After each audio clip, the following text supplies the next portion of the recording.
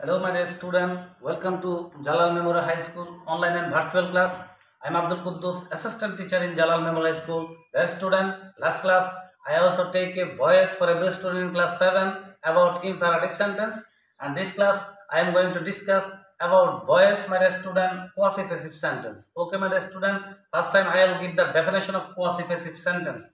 Dear student, quasi-passive যে সমস্ত voice দেখতে অ্যাক্টিভ বাট অর্থের দিকে তাকে বলে কোয়াসি প্যাসিভ যে সমস্ত বয়েস দেখতে অ্যাক্টিভ বাট অর্থের দিকে প্যাসিভ তাকে বলে কোয়াসি প্যাসিভ আমরা চলে যাব how to change active voice to passive voice কীভাবে কোয়াসি প্যাসিভ ভয়েসকে অ্যাক্টিভ ভয়েস থেকে প্যাসিভ ভয়েসে রূপান্তর করতে হয়? তার সূত্রটা হচ্ছে স্টুডেন্ট দেখো।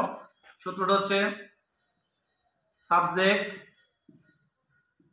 একই থাকে। সাবজেক্ট একই থাকে। দুই, তারপর টু বি ভারত বসে।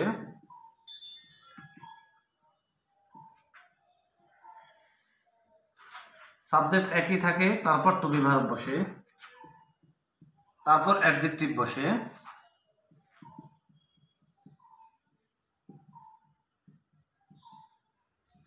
তারপর অ্যাডজেক্টিভ বসে।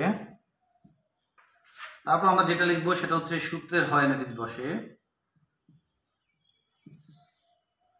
সূত্রের হয়েনিটিস বসে। তারপর হচ্ছে ভার্বের ফার্স্ট পার্টিসিপল হয়।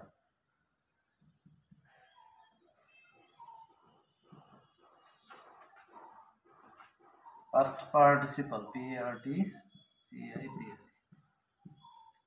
first participle হয়। স্টুডেন্ট এই হচ্ছে সূত্র। প্রথমে সাবজেক্ট বসে, তারপর টু বি ভারব বসে, তারপর অ্যাডজেক্টিভ বসে, তারপর সূত্রে হয়নিটিস বসে, তারপর মূল ভারবের ফার্স্ট পার্টিসিপল হয়।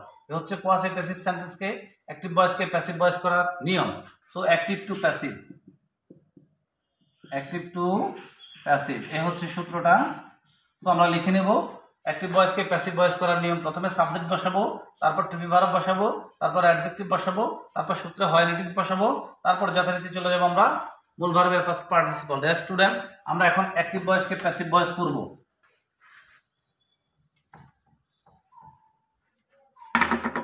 সো অ্যাক্টিভ ভয়েস আমি লিখলাম।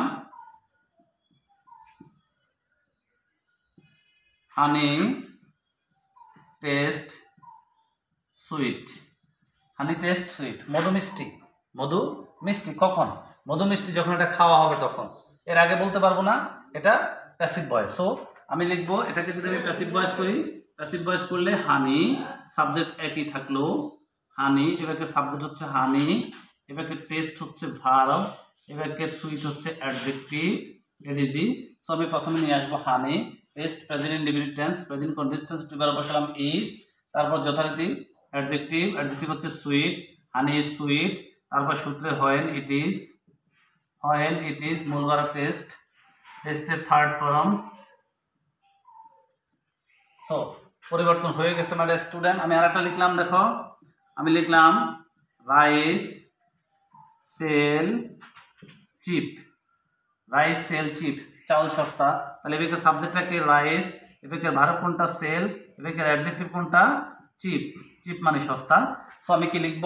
আমি যখন এই অ্যাক্টিভ ভয়েসটাকে প্যাসিভ ভয়েসে রূপান্তর করব সো প্যাসিভ ভয়েস করলে সাবজেক্ট একই থাকবে রাইস রাইসের সাথে টুবারও বসল ইস তারপর adjective cheap rice is cheap তারপর সূত্রে when it is when it is মূল বার অফ সেল সেলের ফার্স্ট পার্টিসিপল সোল্ড সো এ পরিবর্তন হয়ে গেছে মাই স্টুডেন্ট তাহলে কি দাঁড়াল?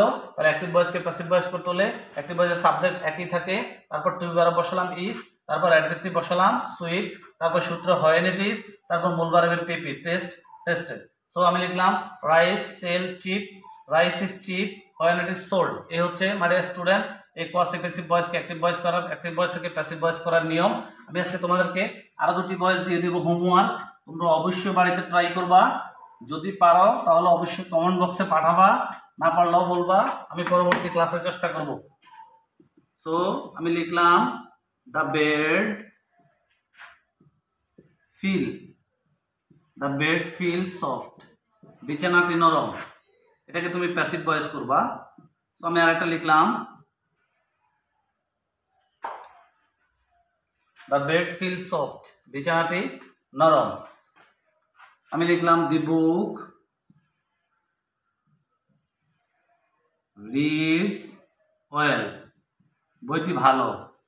বইটি ভালো। এই দুটো হচ্ছে তোমার হোমওয়ার্ক সো এই দুটা বাড়িতে ট্রাই করবা। ট্রাই করে যদি পারো, তাহলে অবশ্যই কমেন্ট বক্সে লিখবা আরে স্টুডেন্ট আজকে আমি কোয়াসে পেসিভ বয়েস দিয়ে কথা বললাম। ইনশাল্লাহ পরবর্তী ক্লাসে আবার তোমাদের সাথে দেখা হবে অন্য কোনো বয়েস দিয়ে। সে পর্যন্ত সুস্থ থাকবে, ভালো থাকবে। আল্লাহ হাফেজ।